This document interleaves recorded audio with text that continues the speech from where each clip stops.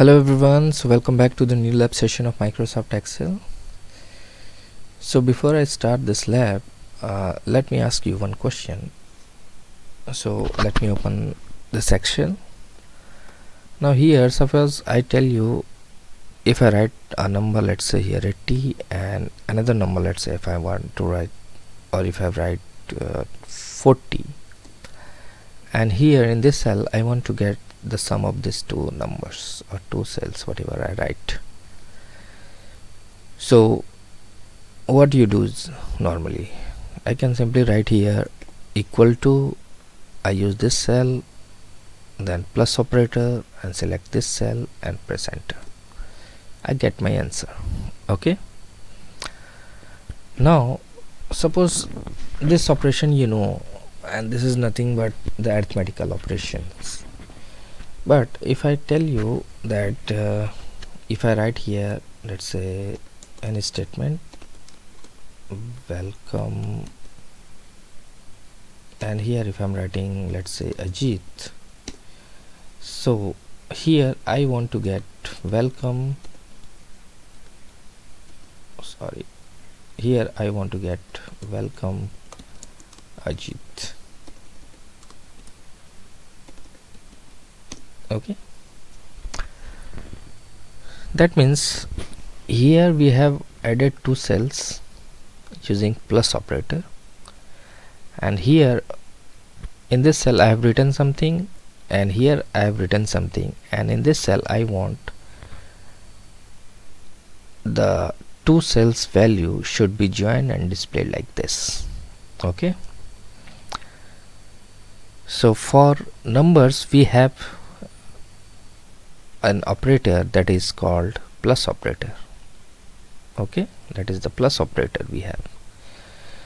But for joining these two text or two strings we have a function that is excel is providing one function for us that is concatenate. Okay? So you see here this is the function we generally use so this function takes a number of argument. This number of argument is nothing but the number of text you want to join. Like uh, suppose let me increase the size. Suppose if I write here concatenate the first statement I write here let's say welcome and second statement I write here let's say space Ram and close the bracket and if I press enter you see it is written welcome Ram okay? So like here if I want to display welcome Ajit that means whatever I write here and I write here it should display here. This two join statement uh, two join string. So for that I can write here concatenate the first cell comma the second cell and I press enter it will display welcome Ajit you see there is no space okay? So if you want to get a space here in this case I have already mentioned a space here. That's why it is coming like space okay? But here I have not mentioned any space you see? So if you want to get one space here you can simply write double quote give a space start and close this double double quote and put a comma now press enter. Now you'll get it. Okay?